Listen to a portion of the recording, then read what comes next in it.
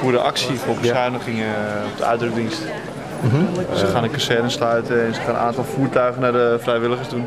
Dus, eh, en dat zijn een aantal van de maatregelen. Actie, aandacht vragen voor de situatie. En het gaat niet over loon, het gaat niet over geld, het gaat gewoon over dat, eh, dat er gewoon personeel wordt teruggedrongen. En op die manier eh, komt onze veiligheid gewoon in gevaar. En de van, de, van de burger. Dus eh, het is eigenlijk een beetje de, de basis ervoor. Wat eh, eh, willen jullie bereiken bij deze actie? dat ze de bezuinigingen eigenlijk niet door laten gaan. Ik denk dat heel veel mensen niet weten wat de gevolgen zijn van deze bezuinigingen.